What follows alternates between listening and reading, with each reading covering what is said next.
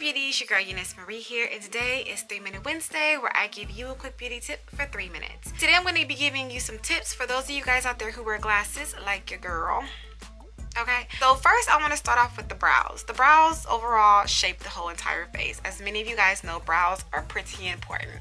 So there you just want to make sure that your brows are number one the right shape for your eyes for your face.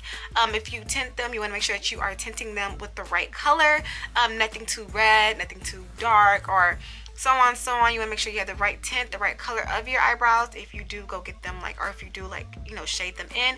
But all in all you want to make sure that your eyebrows are shaped okay? They just will frame your eyes a lot better and that applies to your glasses as well. So make sure those brows girl are on fleek okay? Next i want to talk about highlighting okay? Now glasses can cast a shadow around the eye. The lower part of the eye the inner part of the eye and the top part of the eye. So you want to make sure that you are highlighting. Key ways to highlight.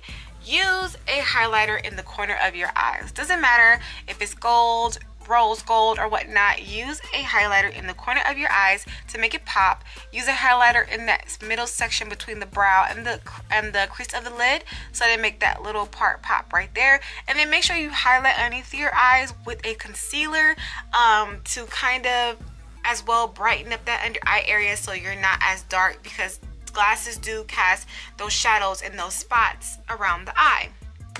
All right? And that's about it. Like, you guys, I really don't have most, a lot of tips. Or, those are my key tips, okay? Maybe there are more, but pretty much you just want to make sure your brows are popping and you have some highlight. Now, there are some additional ways, of course. You can do your makeup however you want behind your lenses. As you guys can tell, I do my makeup however I want behind my lenses and when I put my lenses on they my makeup still looks popping you can do a smoky eye you can just do a cat eye you can do mascara you can just do some liner at the bottom you can do green shadow you can do purple shadow. It does not matter what you do behind your lenses.